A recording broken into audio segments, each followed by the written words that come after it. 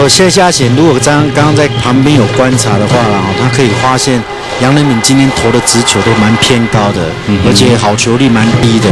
所以真正他的一个投球好打的可能会是一个变化球。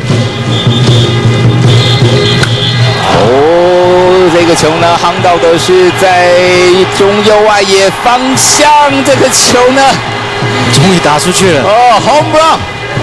一心一意想要挥全垒打的谢家贤抓住了这个球，咬中了这个球，挥出了一支两分打点的全垒打。继张泰山之后呢，谢家贤也把今年个人的全垒打数呢追加到了四支，两个人又是并列为全垒打王了。这个两分炮轰下去之后呢，陈泰 Cobras 队目前是三比十啊，七分落后给新农牛队，而且谢家贤的打点数啊也到达了有十五分，现在呢是追在张泰山之后。所以从这个地方的角度，我们可以去看到，如果在第八局的情况下，不会不要受到那个三垒的一个爆传呐、